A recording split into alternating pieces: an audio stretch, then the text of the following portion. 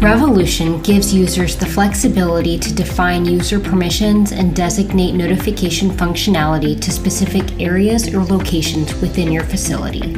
You can do this by creating sites and assigning user roles. Revolution's site feature allows users with authorized credentials to segment and assign things like notifications, endpoints, calendars, triggers, and tags to specific areas or locations within your facility.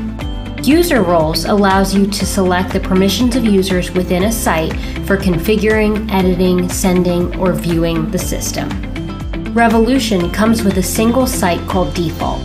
You can change the name of this site and add additional sites to meet your notification needs. To create sites, navigate to the Users, Contacts, and Sites tab, and then click Sites.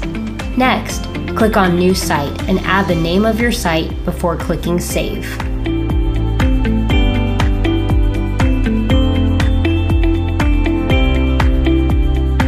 Once sites are created, you can associate users to the site from the user page. Simply click Edit for the user you want to associate and decide whether that user should have access to all sites. If not, select the site you want to associate them with. Users who have all sites access can access everything within Revolution, regardless of the site.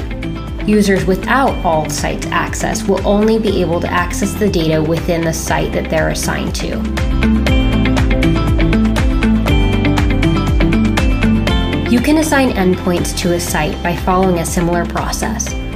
Simply navigate to the Endpoints page, select the endpoint that you want to associate to a particular site, and disable the Available on All Sites option.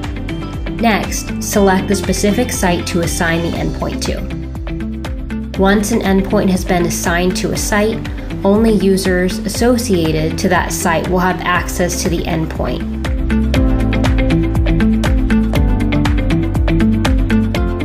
Add endpoints in bulk to a site, navigate to Configuration, Endpoints, and click the Edit button in the top right corner and then select Edit Sites.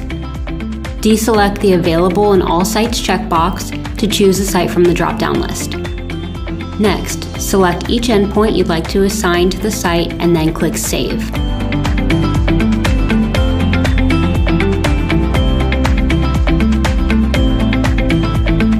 You can also dynamically add endpoints or contacts to a site by creating dynamic site filters. In this example, we'll show you how to create a filter to dynamically assign endpoints.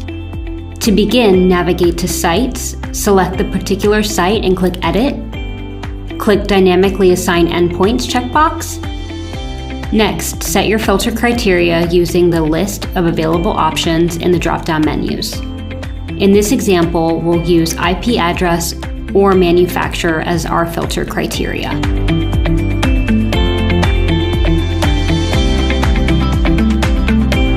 You can associate triggers to a site by navigating to the Activators page and selecting the trigger that you would like to associate to the site. Next, disable the Available on All Sites option and then select a specific site to assign the trigger to. You can do the same with zip lines, tags, notifications, contacts, and calendars. For more information, refer to the sites topic in your Revolution user guide or contact Syn-Apps Sales for a demonstration.